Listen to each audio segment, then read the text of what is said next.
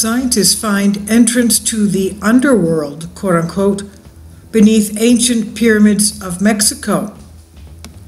Newly discovered underground chambers may now help scientists learn more about the relationship between Teotihuacan and other regions of Mesoamerica. Researchers studied the remains, the remnants of ancient Mesoamerica city of Teotihuacan in Mexico. They discovered a secret tunnel and a cavity below the Pyramid of the Moon, which may have been dedicated to underworld Toltec rituals.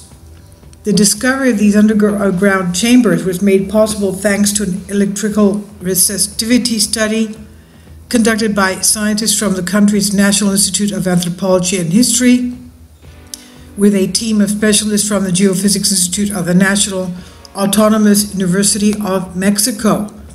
They say previous explorations found skeletons of individuals with cranial deformation, as in the Mayan area, and diverse green stone objects that, like necklaces, anthropomorphic figures made with mosaics. So it's not difficult to think that something similar could be found in the subsoil.